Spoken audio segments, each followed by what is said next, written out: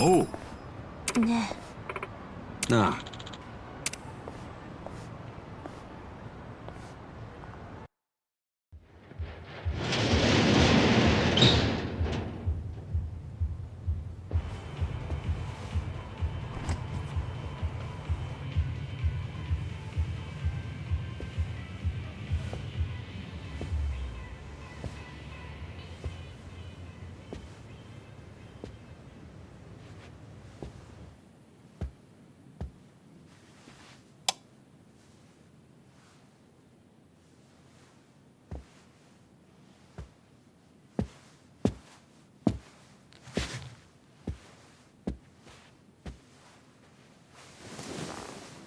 若こんなところで生まれたんだなお前は。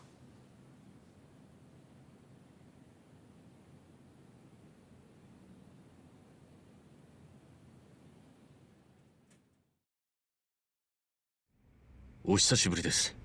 若会いたかったんだろう俺に。お前の聞きたいことなら分かってるさどうして俺が名前まで変えて政治家になったのか。どうして俺が登場界の壊滅に加担したのか。あとこの体も気になるか。昔は車椅子だったもんな。全部答えてくれるんですか？ああ。病気はアメリカで治した。肺の移植手術を受けてな。知ってるか？向こうじゃ移植の順番が金で買えるんだ。だがどんなに金があってもヤクザの息子じゃそれさえ難しいんだ。そのために名前変えたんですか？手術のためだけじゃねえ。荒川真澄の息子として生まれたこと。病気のせいで青春時代を人並みに謳歌できなかったこと。そういう人生そのものを書き換えるために名前を変える必要があったんだよ。でもその結果今じゃ都知事と幹事長を兼任する政治家になれた。どうした？おめでとうございますの一言も言ってくれないのか？素直に言えないんですよね。政治家になるってのは。そんなに嬉しいもんなんですか？政治ってのはいいもんさ。ヤクザみたいに暴力で支配するわけじゃない。法律に準じて人々の暮らしを良くする。おかげで多くの人間から感謝されてるよ。小笠原を殺しましたよね。ん？ああ。リスクマネージメントさどういう意味ですか？だってあいつはお前に拉致られてブリーチジャパンや俺の内情をベラベラと喋ったんだろ？あいつはそういう男さ。奴は一言も喋ってませんなんて言ってたけど目を見りゃわかるよ。だから処分した。本当かどうか確認もしねえで。なんでそんなに簡単に殺せるんですか？じゃあ聞くがあいつは本当に何も喋らなかったのか？どうだ？そりゃ。ほら見ろ。リスクマネージメントというのはそういう危険を事前に。でも一緒にブリーチジャパンを立ち上げた仲間なんでしょそれをためらわずに切れるかどうかがトップに求められる決断力さ。親父だってそうだっただろうガキの頃から面倒見てたお前にあっさりと身代わり出頭を突きつけた。親さんは俺を切ったわけじゃありません。あの時荒川組を守るために。は俺が出頭するしかなかったんです荒川組を守る沢城の頭が殺した鈴森って男は。東上会の直系組員でした。もしも頭がパクられることになったら三次団体で隠したの荒川組はけじめをつけさせられますから。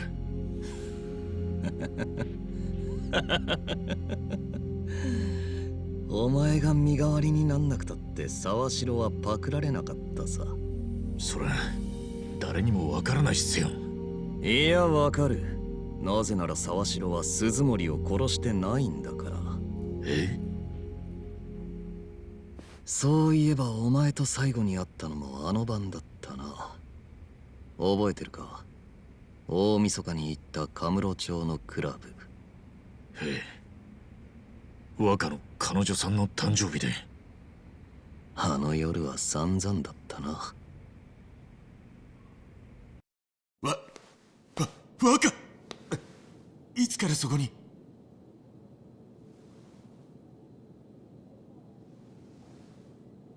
あの、若おう。用足しは済んだのか。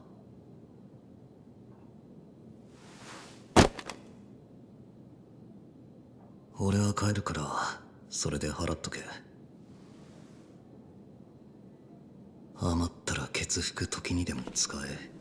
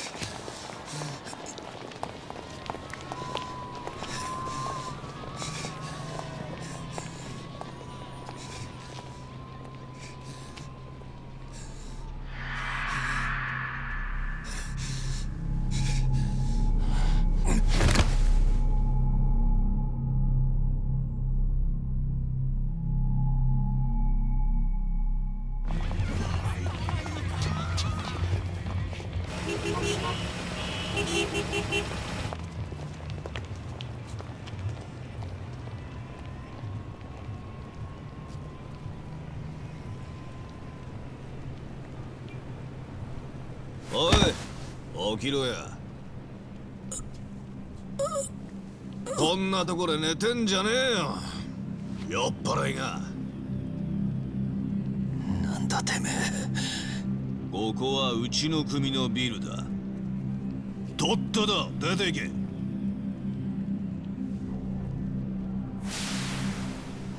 ヤクザか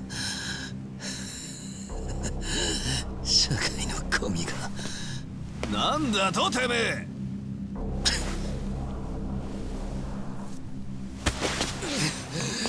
触んじゃねえ。カムロ町でヤクザをちょくるなんていい度胸してんじゃねえ。どっから来たおのぼりさんか知らねえがカムロ町の怖さをたっぷり教えてやるよ。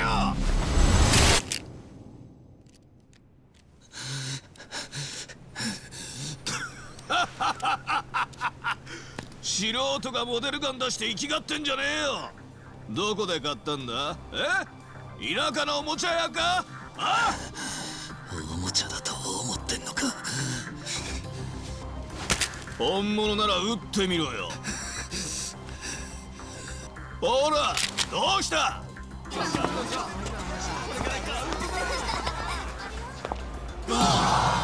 ほらさっさと引き金引いてみろってんだよ撃てねえよな。見せかけの偽物じゃな。二度とでけえ面すんじゃねえぞ。半端もんのくせて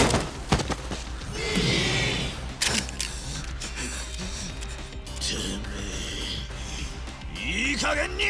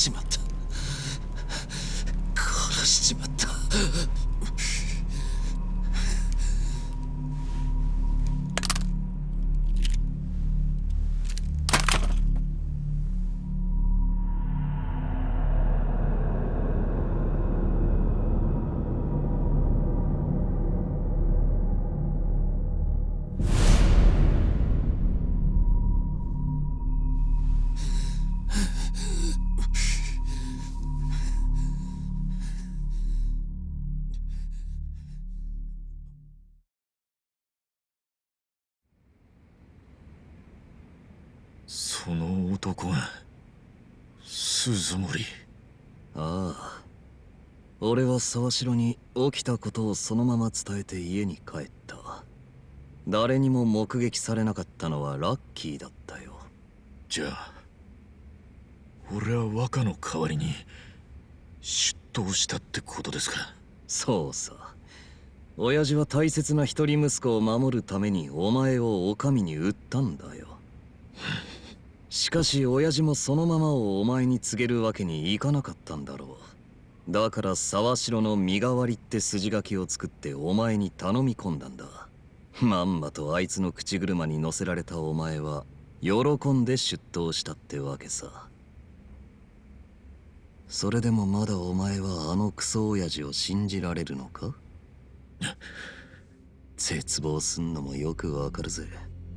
懲役18年ってだけでもひどい話だがひどいのはその後だよな。勤めを終えて出てきたお前をあいつはバーン。だろ。ひでえ話だよな。頼んだぞ。イチ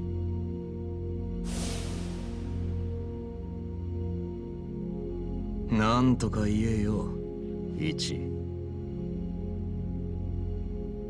それでも俺は荒川のおやっさんを信じてます。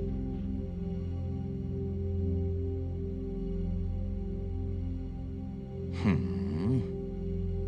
じゃあ俺からも一つ聞かせてくれ一。お前なんで生きてんだ？なんで偉人町にいる？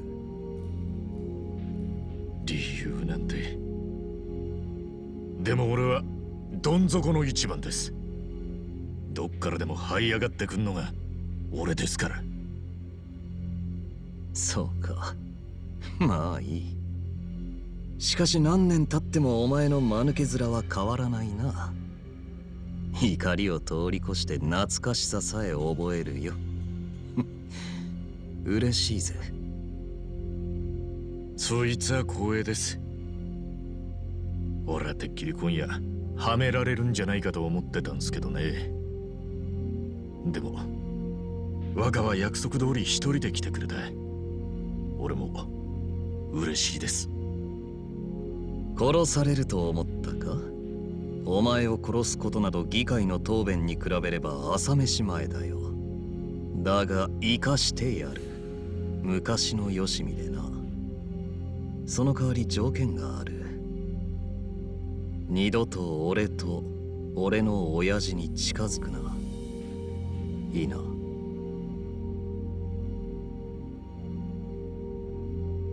じゃあ俺からも若に条件を出させてもらいます。偉人町から撤退して久米の出馬も取り消してください。何？生意気なこと言うようですけど久米は国会議員の器じゃないっすよ。民事党内でも同じ見解だ。現に後ろ盾がなければあんな世間知らずの若造は落選するに決まってる。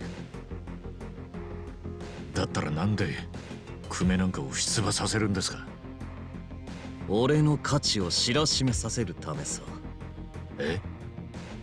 想像してみろ久米がトップ当選を果たしたらその時民事党の奴らはどう思う青木亮の推薦は何の実力もない若者をトップ当選させるだけの力があるのだと理解するだろうそして青木亮というネームバリューは荻窪にとって変わる価値があると思い知るはずだ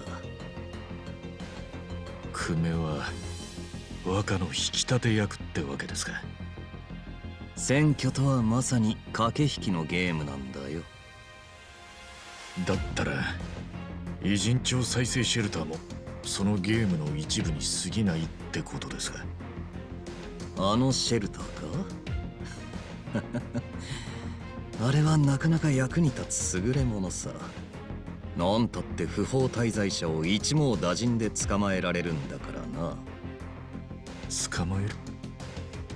ビザの取得をサポートしたりするんじゃ。まさか今さら彼女らにビザが下りるわけがないだろう。シェルターから入管まではバスで行きその後はそのまま強制送還だそんな。それじゃ彼女たちを騙したのか。犯罪者を一掃して偉人帳を再生するシェルター名前に偽りはないね。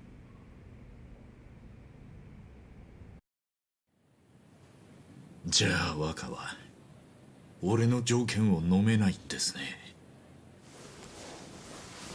飲めないね。なら今夜の交渉は決裂ってことですね。勘違いしてるようだが今夜は交渉ではないさっきも言ったろお前を生かしておいてやるのは俺からの情けだ。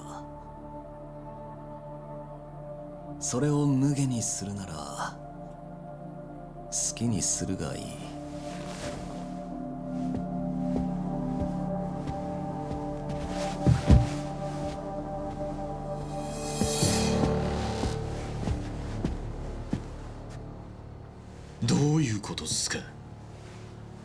若は一人で来るって聞いてましたが若の最後の情けを無駄にしやがって愚か者が。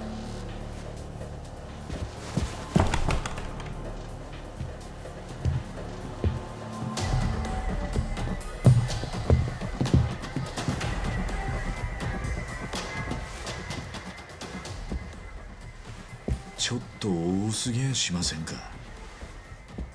こっちは約束通り一人なんですよ。こっちだ一番。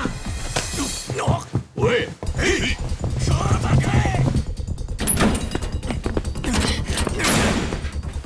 お前らなんでここに？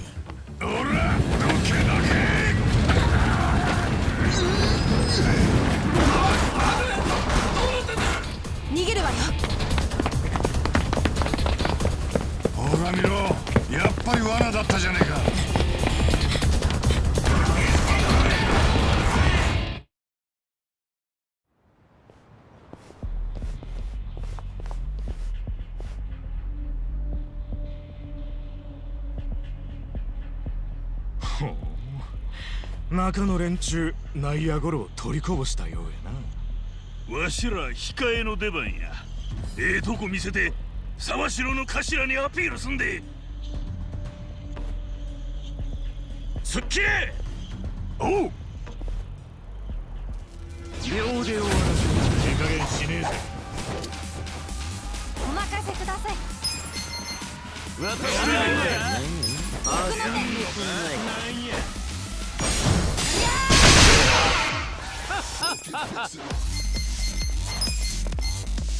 に勝てますかね？勝てると思ってる活躍しちゃうよ。なめんなよ。かかってきなさい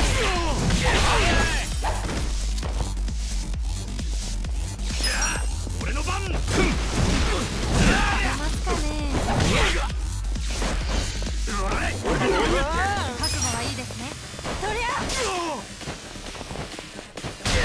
派手に行きましょう。来いよ。派手に行こうか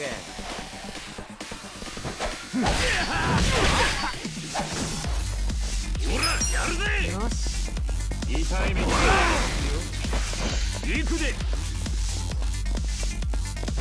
これや。私の番ですね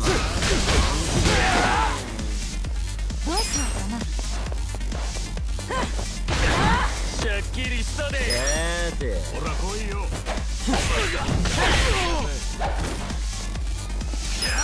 俺の番。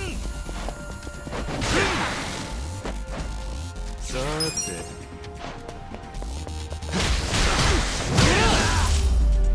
楽勝ですか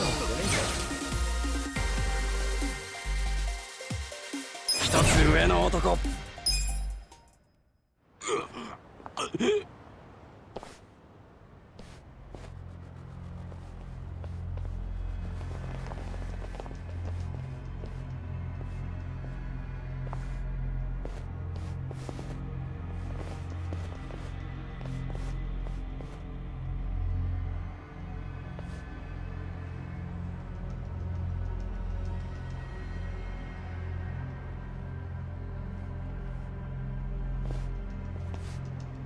相手にずいぶん大げさなんじゃないですか。頭。まあな。だがお前は撃たれても生きてた男だろ念には念を入れたまでだ。こいつが大光に撃たれても死なへんかったってやつですか？どんだけごっついやつかと思ったけど。案外普通でんな。侮るな。確実に息の根を止めろ。せやったら頭と手足を切り落とすっちゅうのはどうでしょう？それならさすがに生きてられへんでしょやり方は任せる。マグロならぬ人間解体ショーをお見せしますで。終わったらあいつの首箱詰めして明日の朝には届けますわ。守備よくやれ頭は帰るんですか？お前らの汚い血でスーツを汚したくないからな。汚れ仕事は全部部下任せですか？あんた荒川のおやっさんの下で一体何を学んできたんですか？おやっさんおやっさんうるせえな。その言い草には昔から虫唾が走ってたんだ。まあまあ言わせたってありましょう。どうせあいつが物言えるのもあと数分の話やし。おしゃべりは十分だ。さっさとやれ。いへへへへほな解体ショーの始まり始まり。や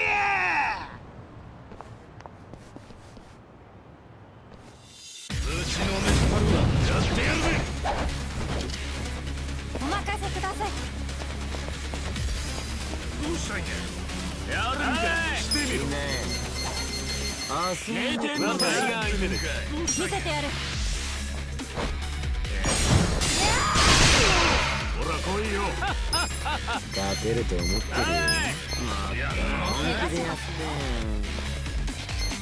名店のかこい。つでどうだやってるんかしてみろ活躍しちゃうよ。痛い目に合わせますよ。舐めると二人にい。ますよやめんなよ俺俺。私に勝てますかね名店のかどうしたんや怪我しますよ。俺俺邪魔だよ。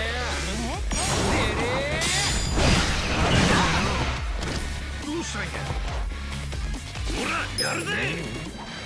あそういう私に勝てますかねやんのか？はい名店のか？俺俺見せてやるよ！勝て痛い目に合わせますよ。行くぜ。行くで覚悟はいいですね。とりゃしてみろ食べに行きましょう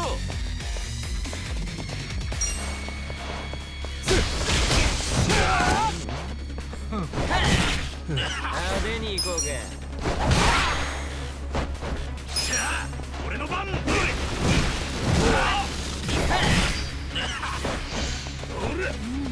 私の番ですこれで終わりや頑張りますやこれや勝てると思ってこれで終わりや俺の番。ほら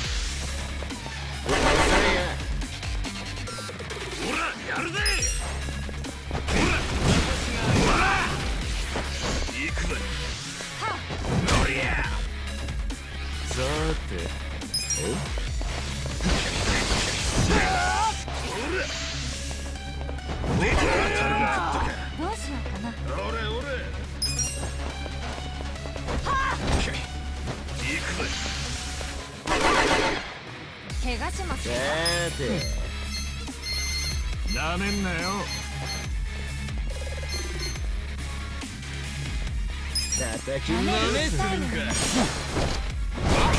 タイルに俺の番だな。私の番です。ないかこれで終わりや頑張ります。これや。これで終わりや。さて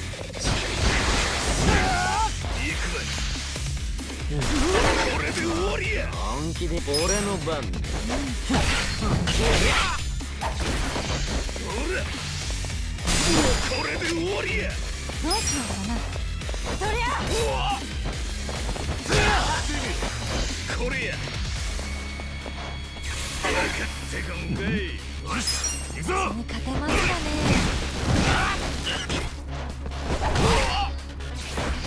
行くぜ私の番です。ね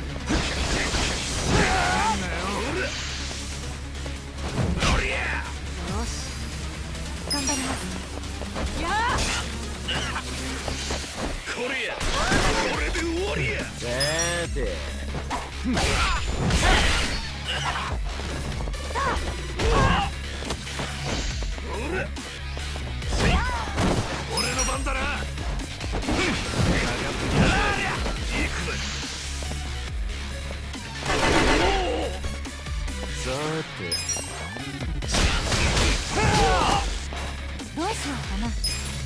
勝てると思って遊んでくんないかな。奥の手。やるか。きたー。私が相手です。俺の番。これや。これで終わりや。ふざけてるんですか？行くぞ行くぜ。舐めると痛い目見ます。これで終わりや。私の番です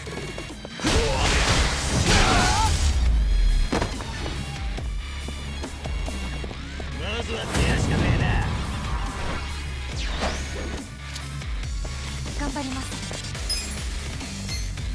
やってみんかい名店の大見せてやる本気でやってんさて私に勝てますかね。はい。なめんなよ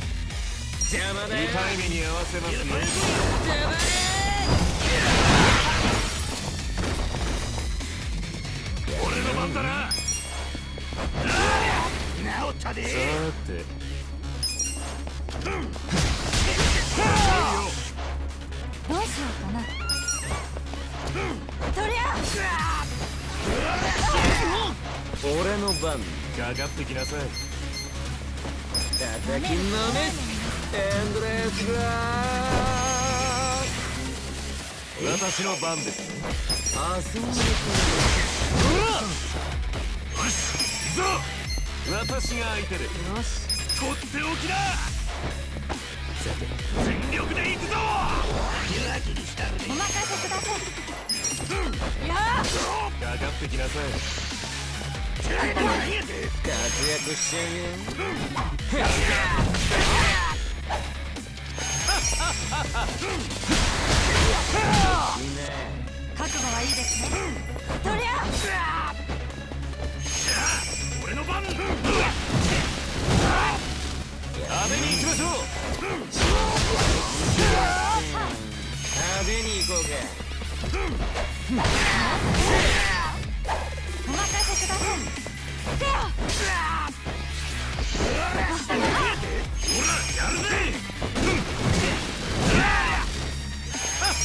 頑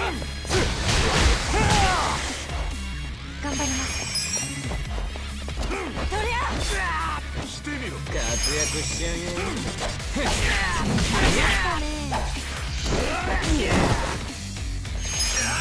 俺の番さど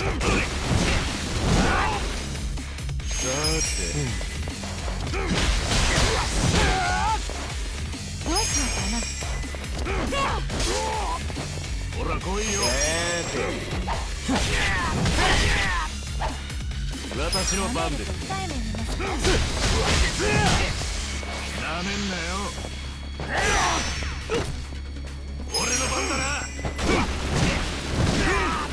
勝てると思っ。てるよ遊んでくんないかな俺の番ほら来いよ私が相手です邪魔だよ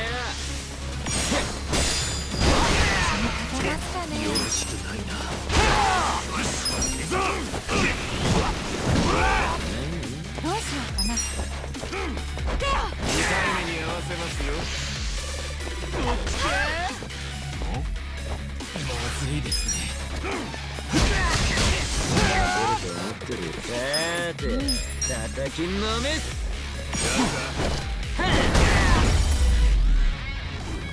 大したことなかったも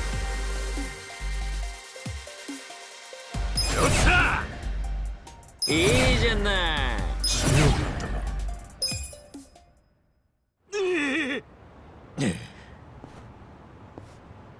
俺の首を箱詰めにして頭に届けるとか言ってたよな。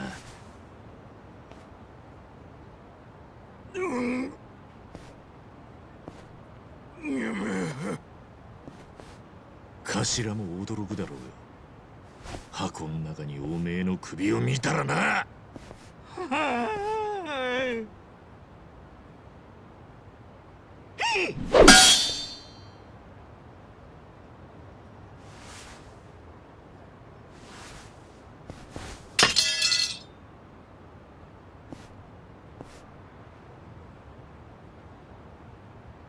めっちゃ気持ち悪いやつだったわね。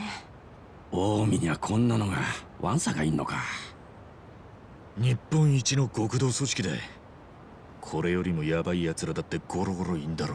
そんな連中がどんどん偉人町にやってくるの？勘弁してよ。一番。浜子さん。どうしたんだ今シェルターへ行ってきたんだよ。シェルターへ？あの子たちの忘れ物があったから届けようと思って。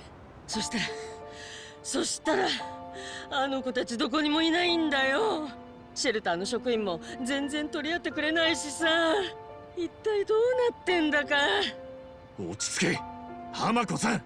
一緒に探してくれよ一番。浜子さん。あの子たちはもう日本にはいない。え？シェルターは彼女たちを強制送還させるためのネズミ捕りだったんだ。えそそんなあの子たちは自分が生まれた国に頼れる人間なんていないんだ。だから偉人帳に身を寄せていたんじゃないか。私はね私はあの子たちの幸せだけが生きがいだったんだ。なのになのになんでこんな結果に？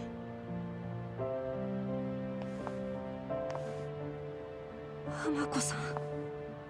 私がシェルターなんか進めなけりゃもっと早く気づいていりゃ浜子さんはただあの子たちを思って行動しただけだ。悪いのは浜子さんじゃない。そうよ。自分を責めないで。浜子さんは最後まで誠実だったわよ。ごめん。ごめんよ。畜生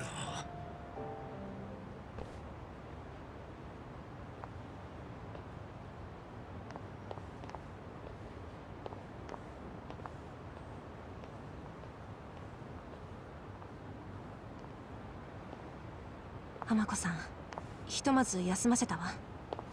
ありがとうさっちゃんどんどん偉人帳がぶっ壊れていくな。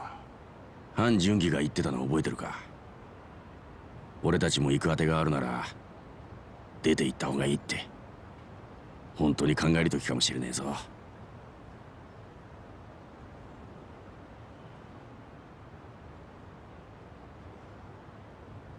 逃げんのか？もう取り返しがつかねえとこまで来ちまってんじゃねえのか？取り返しがつかねえか。ちなみにナンバーはどっか？行く当てがあんのか？いやすぐには思い浮かばないけどよ。足立さんは？親もとっくに亡くなってるし今さら行く当てって言われてもな。最後は？とてもじゃないけど妹とお父さんを置いて出ていけないわ。じゃあ決まりじゃね？えか決まり？何が？みんなここから出ていけるような状況じゃね？えそりゃ俺たちもコミジルもリューマンもみんな同じだ。だったら抗うしかねえだろ。取り返しがつかねえってんならなおさら取り返してやろうじゃねえか。でも賞賛があんのか？そんなもん必要ねえ。昔荒川のおやっさんに言われたよ賞賛があって殴りに行くのはただの弱い者いじめだってな。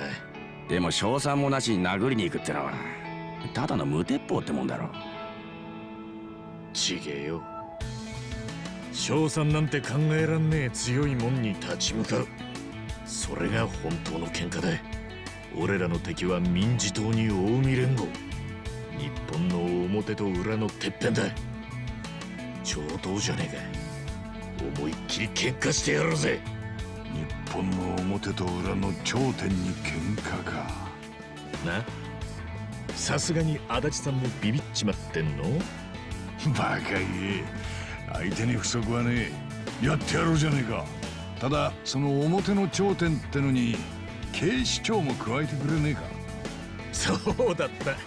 もちろん分かってるって。よっしゃ呆れるくらいどうしようもない人たちよね。まったくだ。でも。好きなんでしょ？うん。そんな自分にも呆れちまうよ。ナンバーさっちゃん俺らと一緒に。はいはい。もう結論出てるから。さすがは俺たちの仲間だ。でもナンバーはどうなんだ？お前は弟さんの無事が確保されたことだし結婚の話だって本当にいいのか？俺がそんなに白状に見えるか？こうなりゃ地獄の果てまで一緒に戦って弟の結婚式のスピーチのネタにしてやるぜ。決まりだな。どいつもこいつも今に見てろよ